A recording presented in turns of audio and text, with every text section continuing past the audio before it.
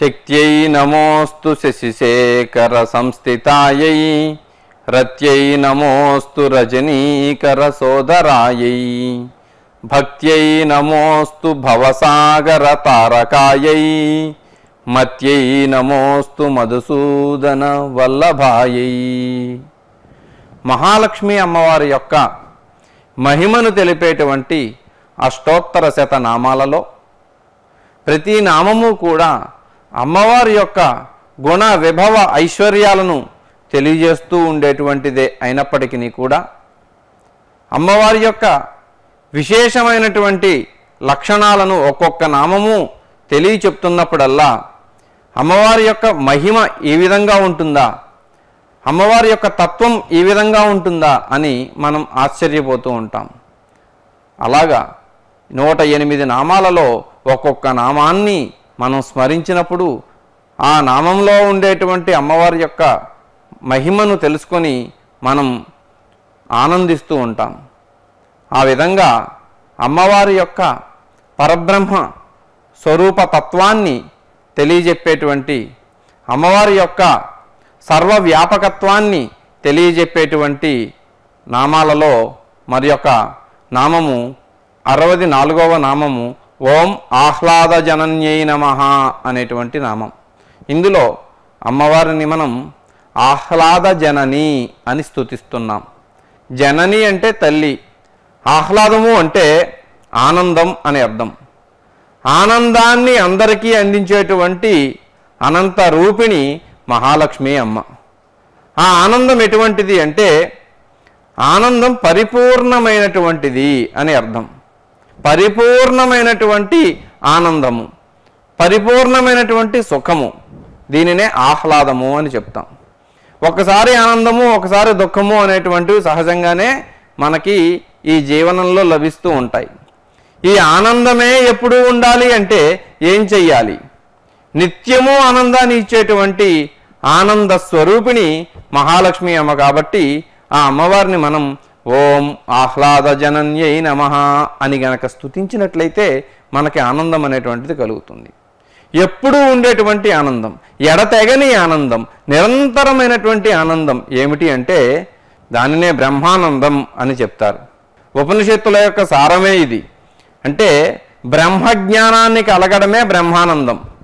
ఈ బ్రహ్మజ్ఞానం ఎప్పుడైతే మనకి కలిగిందో ఆనంద స్వరూపుడైనటువంటి ఆ బ్రహ్మతత్వం ఎప్పుడైతే మనకు తెలుస్తుందో బోధపడుతుందో అప్పుడు మనం బ్రహ్మానందాన్ని పొందినటువంటి వాళ్ళం అవుతాం.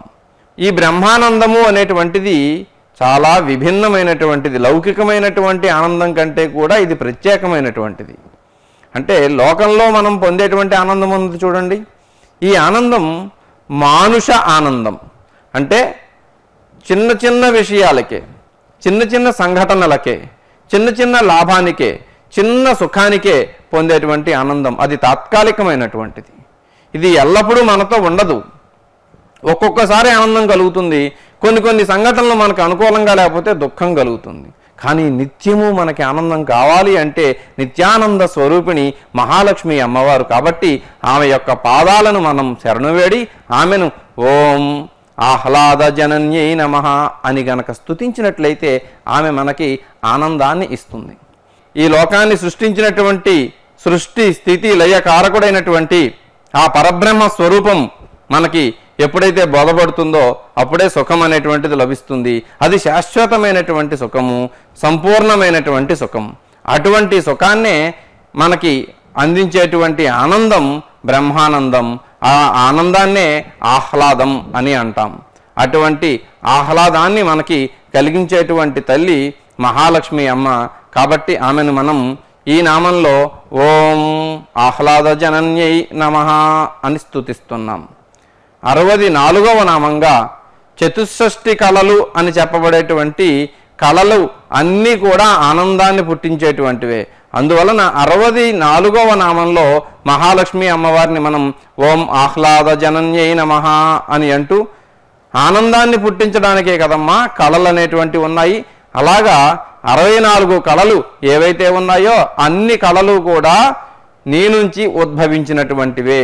ఆ కళలు మనకి రావాలి అంటే లక్ష్మీ కళ అనేటువంటిది మనకి ఉండాలి. ఆ కళ ఉన్నప్పుడే మనకి విద్యా కళ అనేటువంటిది వస్తుంది. విద్యలు అనేటువంటివి మనకి లభిస్తాయి. అందువలన మనం అమ్మవారిని ఓం ఆహ్లాద జనన్యేన మహా అని ఆనందంగా స్తుతించినప్పుడు మనకి నిత్యము కూడా ఉండేటువంటి ఆనందాన్ని ఆమె ప్రసాదిస్తుంది. ఆ ఆనందమే పరబ్రహ్మ జ్ఞానం అని చెప్పుకున్నాం. ఆ పరబ్రహ్మ అంటే ఎవరు? పరబ్రహ్మ అంటే నారాయణుడు. నారాయణ తత్వమే పరబ్రహ్మ తత్వం అన్నమాట. నరాహ అయినం ఎస్య నారాయణ అని అంటారు. అటువంటి ఆ నారాయణుడి యొక్క తత్వం తెలుసుకోవాలి అంటే మహాలక్ష్మి అమ్మవారి యొక్క అనుగ్రహం కావాలి. అమ్మవారి దృష్టి ఎవరి మీద ప్రసరిస్తుందో వారు పండితులవుతారు. అమ్మవారి దృష్టి ఎవరి మీద ప్రసరిస్తుందో వారు జ్ఞానులవుతారు. కాబట్టి మనం అమ్మవారిని ప్రార్థించి ఆమె యొక్క కటాక్షానికి పాత్రులమైనట్లయితే అవిద్య అనేటువంటిది పోతుంది. ఆ తర్వాత జ్ఞానం అనేటువంటిది లభిస్తుంది. తద్వారా మనకి బ్రహ్మానందం లభిస్తుంది. అటువంటి బ్రహ్మానందాన్ని మనుషులకు ఋషులకు సర్వ ప్రాణులకు కూడా అందించేటువంటి తల్లి మహాలక్ష్మి అమ్మవారు. కాబట్టి ఆమెను మనం ఓం ఆహ్లాద జనన్యై నమః అనేటువంటి ఈ నామంతో స్తుతిస్తున్నాం. అలాగే ఈ నామంలో ఆహ్లాద జనని అని అంటున్నాం. జనని అంటే తల్లి. జని అనే ధాతువు ప్రాదుర్భావే అనేటువంటి అర్థంలో అంటే పుట్టించేటువంటిది జనని. ఎలా పుట్టిస్తుంది అంటే ఈ లోకంలో ప్రకృతి స్వరూపిణిగా ఉంటూ సర్వప్రాణులను తానే పుట్టిస్తోంది. ఆనంద నిలయుని యొక్క స్థానాన్ని చూపించి ఆనందాన్ని నిత్యము ఇచ్చేటువంటి వైకుంఠానికి మార్గాన్ని చూపించి ఈ జీవులన్నీ కూడా వైకుంఠంలో పరమాత్మతో వేంచేసి ఉంటూ సర్వ సుఖములను అనుభవిస్తూ పరమాత్మనే నిత్యము సేవిస్తూ ఉండేటువంటి పరమానందమైనటువంటి పరమ పదాన్ని అందరికీ ఒసగేటువంటి తల్లి ఆమె జనని ఆవిడే కాబట్టి అందరికీ ఆమె మోక్షాన్ని ఇస్తుంది ఆమె జన్మనిస్తుంది. అందువలన ఆమెను ఆనందకరమైనటువంటి జీవితాన్ని పొందాలి అని మనందరము కూడా ప్రార్థిస్తూ ఓం ఆహ్లాద జనన్యైన మహా అని వేడుకుందాం. మహాలక్ష్మి అమ్మవారి యొక్క ఈ నూట ఎనిమిది నామాలలో అరవది ఐదవ నామం ఓం పుష్ట్యై నమ అనేటువంటి నామం. ఇక్కడ అమ్మవారిని పుష్టి అని చెప్పి చెప్తున్నాం.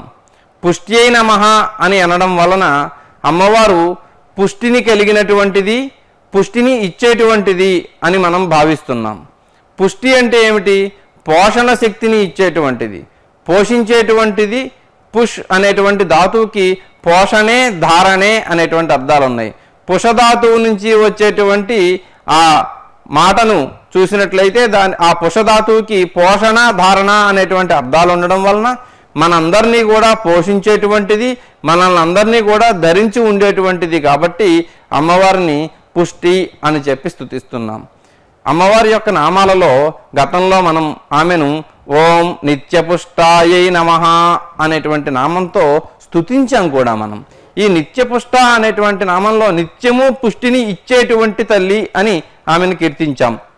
అంటే నిత్యము పుష్టిని ఇవ్వడము అంటే ఏమిటి? అంటే శ్రీ సూక్తంలో కూడా నిత్య పుష్టాం అని చెప్పి అమ్మవారిని స్తుతించారు. అంటే ఈ లోకంలో ఉండేటువంటి ప్రాణులన్నిటికీ కూడా పుష్టి అంటే శక్తిని ఇచ్చేటువంటి తల్లి ఆమె.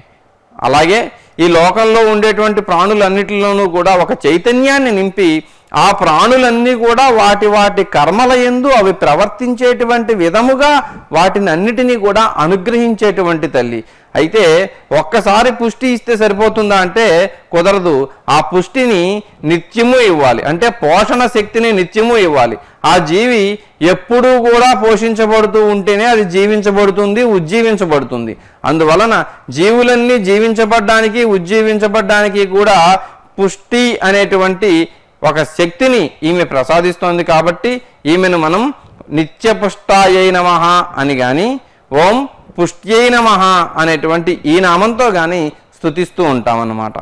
అన్నిటినీ కూడా పరిపూర్ణమైనటువంటి శక్తి కలిగినటువంటి వాటిగా చేసేటువంటిది ఇక్కడ పుష్ట అనేటువంటి శబ్దం. అయితే మహాలక్ష్మి అమ్మవారు ప్రాణులందరినీ కూడా పోషిస్తున్నారు అని చెప్పడం కోసముగా ఇక్కడ పుష్టి అనేటువంటి మాటను చెబుతున్నారు. ఇంతకు ముందర నిత్య పుష్ట అన్నారు ఇప్పుడు పుష్టి అన్నారు.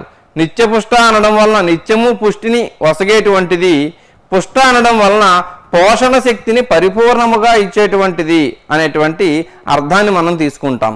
అయితే ఈ లోకంలో ఉన్నటువంటి ప్రాణులను చూడండి. అన్ని ప్రాణులు కూడా పుట్టినప్పుడు ఎలా ఉంటాయి? ప్రాదుర్భావ స్థితిలో అంటే పుట్టినటువంటి స్థితిలో అన్నీ కూడా సూక్ష్మమైనటువంటి వాటివిగా ఉంటాయి అంటే చిన్నగా ఉంటాయి. అవి పెరిగి పెద్దవయ్యే కొద్దీ వాటి యొక్క ఆకృతి కూడా పెరుగుతూ ఉంటుందన్నమాట. ఆ విధంగా వాటి యొక్క శక్తి పెరుగుతుంది వాటి సామర్థ్యం పెరుగుతుంది వాటి స్వరూపం పెరుగుతుంది వాటిలో అన్ని విధములైనటువంటి శక్తులు కూడా వృద్ధి చెందడం అనేటువంటిది జరుగుతుంది. ఇవన్నీ కూడా ఎలా వృద్ధి చెందుతున్నాయి? అంటే పుట్టినటువంటి మొక్క అయినా అది ఒక చీమైనా సరే అది ఎదుగుతోంది దాని యొక్క సామర్థ్యం పెరుగుతోంది అంటే ఏదో ఒక శక్తి వీటన్నిటికీ కూడా ఆ ఎదుగుదలను ఒక అభివృద్ధిని కలిగించడం అనేటువంటిది చేస్తోంది. ఆ శక్తి ఏమిటి అంటే అమ్మవారిలో ఉండేటువంటి పుష్టిత్వాన్ని కలిగించేటువంటి శక్తి అన్నమాట. అందువలన ప్రాణులన్నిటికీ కూడా పుష్టిని ఇచ్చేటువంటి తల్లి కాబట్టి ఆమెను మనం ఓం పుష్ట్యై నమ అనేటువంటి మాటతో కీర్తిస్తున్నాం అన్నమాట అయితే అమ్మవారిని నిత్యపుష్టాయే నమ ఓం పుష్ట్యే నమ ఓం పుష్టయే నమ అని మూడు సార్లు అమ్మవారిని స్తుతించడం అనేటువంటిది జరుగుతుంది. అంటే తల్లి నీవే ఈ లోకంలో ఉండేటువంటి వాళ్ళందరికీ కూడా శక్తినిచ్చేటువంటి దానవు మేమందరము కూడా నీ మీద ఆధారపడి ఉన్నాము అని ఆమెను వేడుకోవడం అనమాట ఈ పుష్టి అనేటువంటిది మనం చేసేటువంటి ప్రయత్నాల వల్ల కలిగేటువంటిది కాదు. ఇది అమ్మవారి యొక్క అనుగ్రహం వల్ల కలిగేటువంటిది అనమాట అమ్మవారి యొక్క అనుగ్రహం ఎవరి మీద ఎక్కువగా ప్రసరిస్తుందో వారికి పుష్టి అనేటువంటిది కలుగుతుంది. దానితో పోషణ శక్తి వాళ్ళలో అభివృద్ధి చెంది వాళ్ళు కూడా పోషించబడినటువంటి వాళ్ళు అవటం వలన అమ్మవారి చేత వాళ్ళు ఈ లోకంలో బలవంతులుగా ఉండడము లేకపోతే సామర్థ్యం కలిగినటువంటి వారుగా ఉండడము అనేటువంటిది జరుగుతుంది. ఇటువంటి శక్తిని మనకి ప్రసాదించేటువంటి తల్లి అమ్మవారు కాబట్టి ఆ మహాలక్ష్మి అమ్మవారిని మనం ఓం పుష్ట్యై నమ అనేటువంటి ఈ నామంతో కీర్తిస్తాం. శ్రీ అయి నమ.